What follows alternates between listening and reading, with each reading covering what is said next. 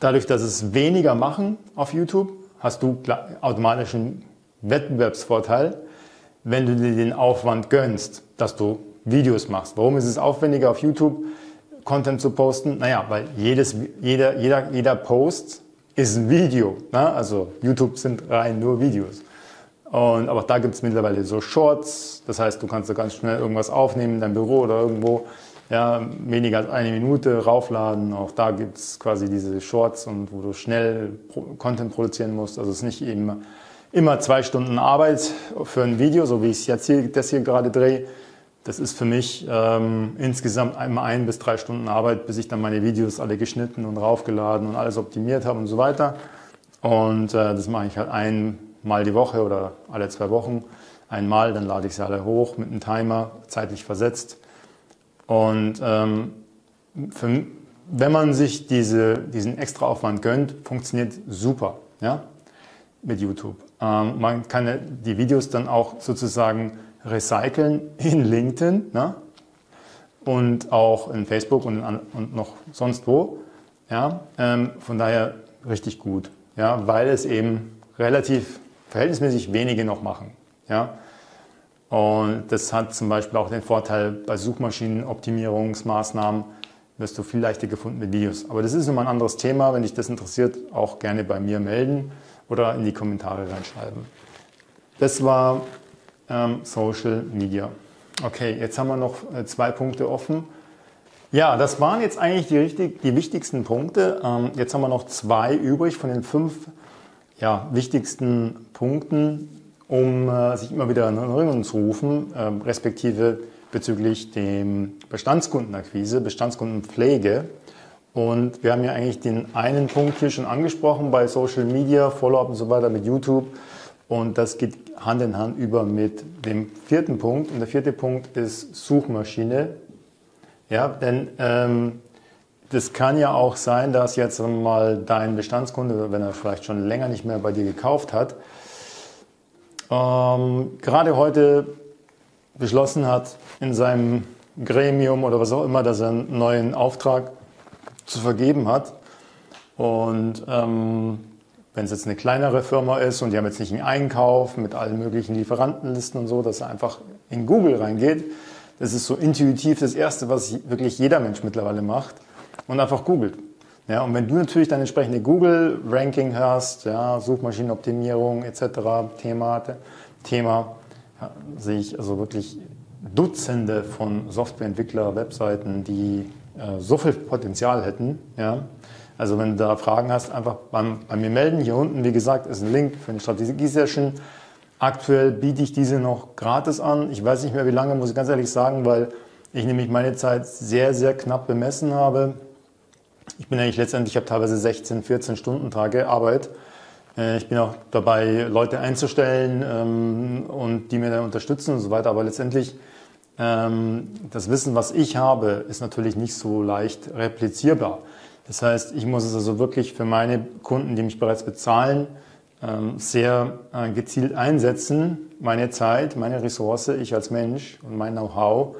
Und wenn du jetzt meine gratis 30-minütige äh, gratis äh, Strategiesession buchen möchtest, dann ähm, ja, dann kann ich das vielleicht noch machen, ähm, aber vielleicht nur noch zwei, dreimal die Woche und also nicht mehr in der Häufigkeit wie vielleicht noch in der Vergangenheit, beziehungsweise vielleicht irgendwann mal ein paar Wochen oder ein paar Monaten gar nicht mehr. Oder ich gebe es dann an jemanden ab, der es dann vielleicht ähm, auch macht, machen kann in der Vorqualifizierungsstufe und so weiter. Aber dann vielleicht dann sprichst du nicht mehr mit mir direkt. Ne? Und ich bin halt also wahrscheinlich der mit dem, mit dem größten Know-how aktuell bei mir in der Firma. Und von daher ähm, schau, dass du jetzt noch eine ähm, 30-minütige Strategie-Session äh, bekommst, wenn du mit mir noch nicht im Gespräch warst direkt, wenn du Softwareentwickler, IT-Experte etc. bist, egal welcher Größe, egal wo du stehst, ähm, selbst wenn du Angestellter bist noch oder so, ja, überlegst dir gerade, äh, sich selbstständig zu machen, kann sein, dass du ein wahnsinnig Potenzial hast, ja, innerhalb von kürzester Zeit eine, deine eigene Firma hochzuziehen, wo du dir noch gar nicht so richtig bewusst bist, dass du dieses Potenzial hast. Häufig habe ich dann richtige Aha-Effekte, also 10, 20 Viertelstunde im Strategie-Call ähm, reichen da manchmal schon aus, dass das, das sind ein paar Sachen, wir besprechen und du plötzlich denkst, wow, krass, ja, an das habe ich überhaupt null gedacht, so von dem Blickwinkel noch nie betrachtet und so weiter. Wir sind ja auch alle quasi durch unser ganzes Schulsystem letztendlich sind wir auch letztendlich äh, systematisch letztendlich ähm, dazu erzogen worden, ähm, nicht wirklich out of the box zu denken. Ja? Aber das ist genau das, was wir brauchen, um insgesamt unsere Ökonomie ähm, voranzubringen in der heutigen Welt und wettbewerbsfähig zu halten und besser zu machen. Ja? Bin ich schon wieder in die Politik abgeschweift? Also Suche. Das fünfte, der fünfte und letzte Punkt ist letztendlich offline. Ja? Also das heißt Briefe schicken, ja, irgendwie ähm, offline und jetzt nicht, ähm, also Telefonakquise äh, zähle ich zu online mittlerweile dazu, weil das, das sind nicht, ähm, nicht wirklich offline, aber halt einfach hier äh, Postkarten schicken, ja, sowas wie Postkarten, Briefe, ja, Briefe und so weiter. Ja. Und äh, das sollte man nicht unterschätzen, wenn es hochwertig und gut gemacht ist, kann auch das äh, dazu beitragen, dass deine Kunden dich immer wieder, dass du dich bei deinen Bestandskunden immer wieder in Erinnerung rufst und es ist, muss ich ganz ehrlich sagen, mittlerweile mit einer der günstigsten ja, ähm, Marketingkanäle äh, überhaupt, weil sich keiner mehr macht. Ja, und ähm, also so eine Postkarte verschicken oder sowas kostet vielleicht dann irgendwie so ein paar Cent. Ja, Im Gegensatz zu vielleicht eine Social-Media-Kampagne äh, bezahlt, wo du dann irgendwie für einen Klick äh, für bestimmte Keywords äh, bis zu 20 Euro bezahlst. Für einen Klick nur. Ja? Du hast noch lange keinen ähm, keinen Neukunden gewonnen oder noch keinen Auftrag gemacht. Ne? Also, also das hier ist auch, äh, muss ich ganz sagen, ehrlich sagen, günstig. Ja? Man muss es natürlich auch ähm, können, ne? also nicht einfach irgendwas an irgendwen verschicken, sondern es muss auch äh, quasi auch professionell gemacht werden im Idealfall. Aber auch da kann ich dir Tipps geben, da habe ich auch Experten an der Hand. Ja? Und wenn ich dir persönlich mit meiner Firma da nicht direkt weiterhelfen kann, glaub mir, ich kenne jemanden, der dir da weiterhelfen kann. Also mein Netzwerk ist groß, ich habe Partner, Experten, alles. Ja? Okay, also, wenn dich das interessiert, all das hier ähm, zum Thema Bestandskunden, Akquise, Bestandskundenpflege, ja, wie du quasi mehr rausholst. Ähm, du musst aber so denken, der ganze Aufwand, die ganze Energie abschließend noch das, ein Appell an dich wenn du bis jetzt hierhin durchgehalten hast bei dem Video. Der ganze Aufwand, der ganze Energie, überhaupt mal einen Kunden zu gewinnen, ist ja enorm teilweise. Ja? Also manchmal geht es auch sehr schnell, ne? wenn man jetzt quasi die richtigen ähm, Leute vielleicht hat, die einem da ein bisschen unterstützen, so wie ich, dann geht es auch ein bisschen schneller. Aber die musste er auch einkaufen. Ich, bin ja, ich arbeite ja auch nicht umsonst. Das heißt, Neukunden gewinnen ist ein gewisser Aufwand an Energie, Zeit und Geld. Und wir haben ja nur diese drei Ressourcen, egal wo du stehst. Jeder Mensch hat nur Energie, Zeit und Geld, nichts anderes. Und ähm, dann sozusagen deinen bereits gewonnenen Kunden, ja, weil du zu busy bist, weil du zu sehr im Tagesgeschäft bist, weil du den Überblick verloren hast oder weil du einfach zu viele Daten in deiner Datenbank hast oder weil du grundsätzlich gar keinen ich kenne immer wieder Leute, die haben irgendwie, sind seit zehn Jahren selbstständig unterwegs als Softwareentwickler, IT-Experte und haben immer noch kein CRM. Ja? Immer noch kein CRM. Arbeiten mit Excel. Ja? Das, dann liegen hier irgendwelche Excel-Sheets rum. Excel. Ja? Excel. Was macht Excel nicht?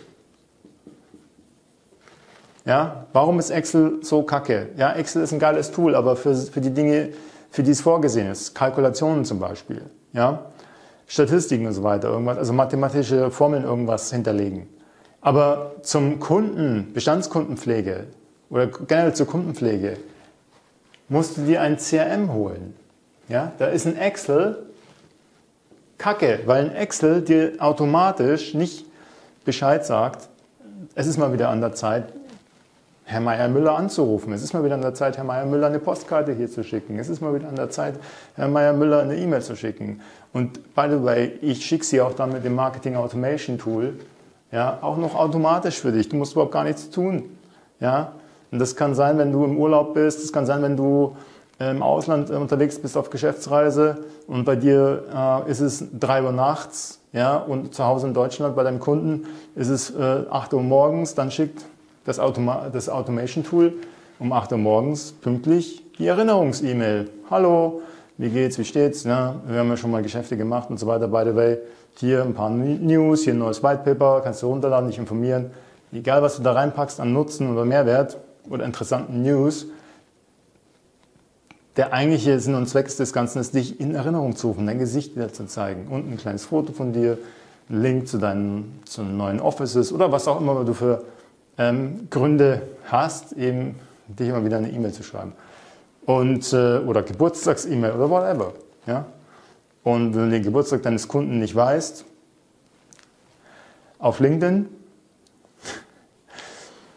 steht normalerweise der Geburtstag dort oder auf, auf, äh, ja, auf LinkedIn oder Anniversaire, ja, Anniversaire auf LinkedIn wirst du automatisch benachrichtigt. Dann kannst du dein, das ist aber schon wieder High Level, ja, dann kannst du dein LinkedIn, ähm, hier dein Social Media, ja, mit deinem Marketing Automation und dein Marketing Automation hier mit deinem CM verknüpfen. Das heißt, wenn auf Social Media, auf LinkedIn, ja, jemand seine Position ändert, dann automatisch Nachricht. Ja? An dich und du an ihn. Hallo, herzlichen Glückwunsch und so weiter. Und schon wieder hast du dich in Erinnerung gerufen. Okay, Leute, das soll es sein für dieses Video. Ich finde es cool, dass du mit dabei warst. Äh, so lange war das längere Video. Ganz ehrlich, es ist ein super wichtiges Thema. Wenn du da kein Konzept, keine Strategie, keine internen, keine automatisierten Workflow-Prozesse etabliert hast, kann ich dir eins sagen das einmal mit einem Profi durchmachen, von A bis Z. Ich weiß, es kann wehtun, ich weiß, es ist ein leidiges Thema, es macht vielleicht auch gar keinen Spaß, aber es einmal durchmachen und dann so weit automatisieren, wie es irgendwie möglich ist, dann hast du es, hast es geschafft. Alles, was dann an neuen Kontakten dazukommt und so weiter, ist dann in dieser Maschine drin, in diesem System. Und ich würde mal sagen, ich würde mal behaupten, wenn du ein Unternehmen bist, das aktuell eine halbe Million Umsatz macht im Jahr, und du einmal dieses System aufgesetzt hast, machst du automatisch bis zu doppelt so viel. Also das kann wirklich eine Menge, Menge, Menge mehr Umsatz bedeuten. Also vielleicht sogar mehr wie doppelt so viel. Also das hängt natürlich ab, wie qualitativ hochwertig deine Kontakte und deine Bestandskunden und dein Produkt, das hängt von vielen Faktoren ab, ist schon klar.